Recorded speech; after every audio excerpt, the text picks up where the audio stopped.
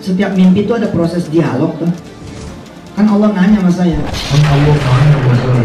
So, kalau aku kasih 3 triliun emang buat apa ya? Kan gitu. Sebelum lanjut, silahkan share video-video dari kami untuk saudara-saudara terdekat kalian agar tirani terbuka dan tidak ada lagi yang terpedaya dengan pola-pola seperti ini. Mari buka mata, terima kenyataan, dan menuju arah kebenaran.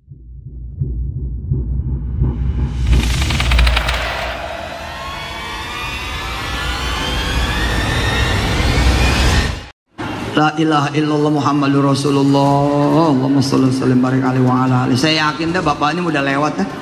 Saya ini baru ABG, baru aja. Baru berapa tahun begitu. Bapak sih saya yakin dah. Apalagi para alim ulama, para ustadz udah duluan, udah lama.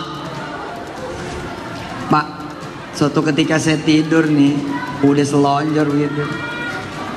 Itu Rasul duduk ya, duduk dia pakai nanya.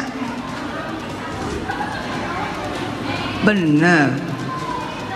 Kamu umatku. Gitu dia kata.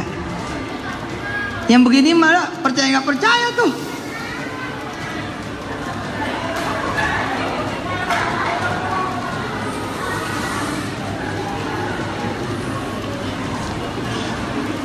Kok nggak wudhu?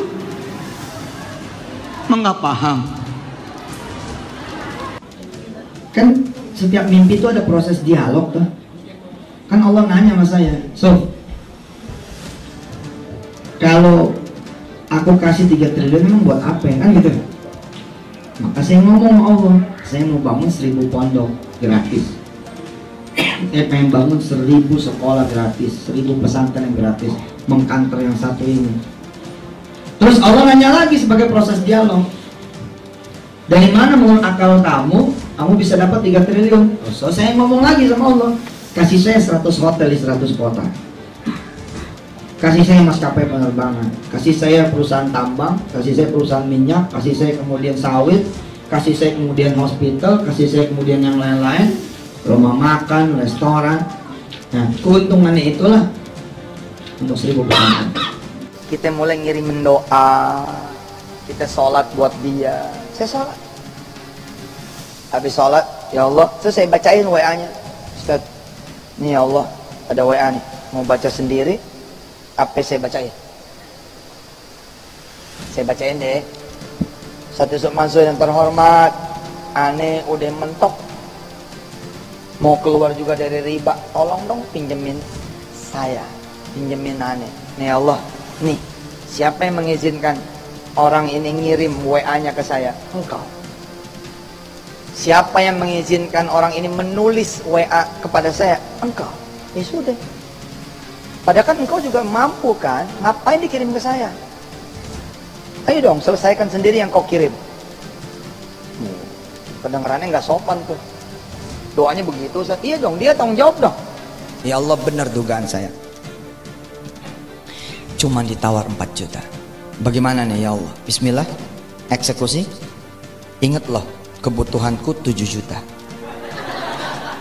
Jadi kurangnya ini 3 juta. Paham nggak? Boleh nggak ngomong kita sama Allah? Boleh. Allah mah nggak bakal tersinggung. Nggak ada urusannya ya. Pakai bahasa hati aja. Yang penting jangan tinggi hati. Ya Allah cuma laku 4 juta. 3 jutanya ke mana ini? Kalau emang boleh tunjukkan aku jalan supaya aku bisa genap tujuh juta. Sudah dirasa cukup. Bismillahirrahmanirrahim. Berangkat lagi ke so Asarul. Begitu keluar musola, motornya hilang. Siapa yang pengen pergi haji? Sini dulu sini.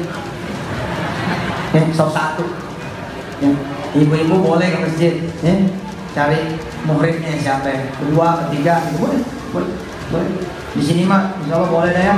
Iya boleh lah. Hmm, masuk sih. Siapa yang punya utang? Nah, kelihatan sih. Gagap banget tuh gue. Coba ya, lu kalau dikasih tahu nih, ini ada orang Riau, ada orang Riau teman aneh, teman aneh ada orang Riau. Lo kalau ngomong sama dia, lo pasti dibagi. Kira-kira mau nggak pergi ke Riau? Dibelain itu. Ada Allah nih di sini dong deket bener tetangga lo nih satu komplek sama lu gila ya Hah? siapa yang belum nikah? Yang belum nikah? Yang mau nikah lagi? Ya siapa tahu janda? Dia udah minta mau gue udah bilang jangan ngaji sama Yusuf Mansur. Lu bandel sih